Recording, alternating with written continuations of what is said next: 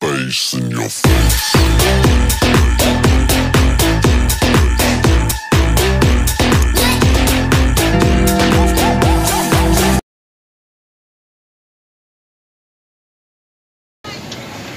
Ano ba mga kahart ang pinipilahan dito sa Nissan Pulong Santa Cruz. Sa may kanto. Makalakas po nito. Gabi gabi ang dami nang bumibili sa kanya. Meron din siyang uh, crispy pata. Mas mabilis maubos yung crispy pata. At ah, ito po na niluto ulit namin nilagyan ng white onion. Ginisa. Na merong uh, Cajun sauce. Para mas masarap. Ang sisig na niluto uli may ano na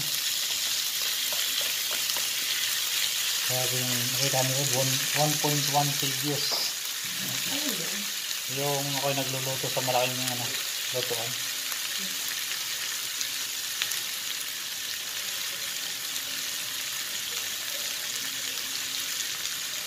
Tunog na.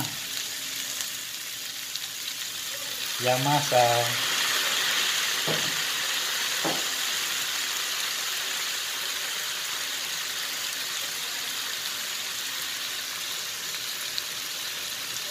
Naku, hindi nakahanda. So, lalagyan natin ng Cajun sauce. Tapos counting spicy.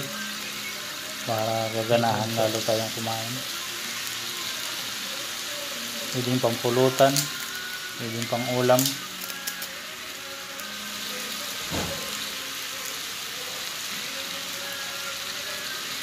Okay. Harika. Yan, spicy chili sauce. Sarap na. Sarap na to mga kahag. Haluin lang.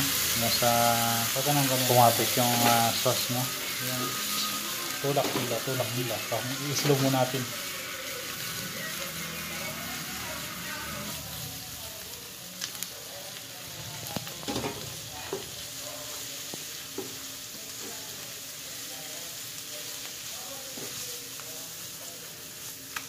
Yun. Yun. okay na. Kain na na. Spray mo niya na. Yan, ready na siya mga heart. Tara, kain na na. Sibuyas.